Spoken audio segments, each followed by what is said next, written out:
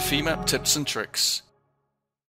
There have been methods of modeling bolt preloads in a finite element model for many years. Some methods involve the application of compression loads to beam elements that represent the bolts, or applying a thermal loading such that the beams contract to create the desired preloading effect.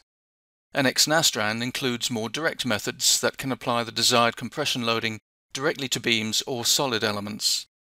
In this video, we'll take a look at the solid element approach, which allows for a more detailed stress recovery in and around the bolt locations. We'll use a simple clamp model, which consists of two parts, with a bolt connecting them together. We've already set up the boundary conditions and the requisite contact definitions between the parts.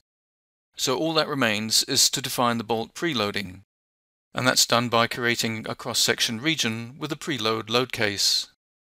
To help with the cross-section region, let's first define a group of the desired cross-section nodes, and we'll choose an area close to the middle of the bolt.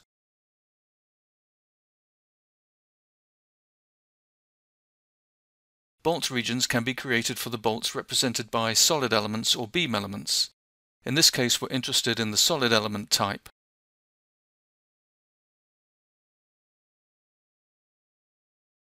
We also need to specify a direction to define the bolt axis.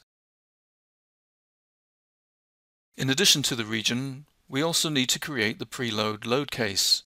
This references the region and includes the preload value, which is the specified torque translated into an axial load arising from the components being bolted together.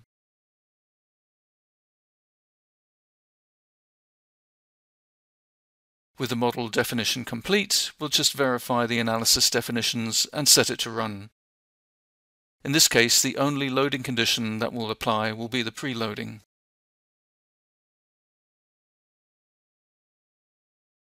With the analysis now complete, we can review the results, and you can see the effect of the bolt preloading. The deflections are of course exaggerated here. So setting up bolt preloading in FEMAP using solid elements is pretty straightforward, and will give you more detailed stresses in and around the bolt locations.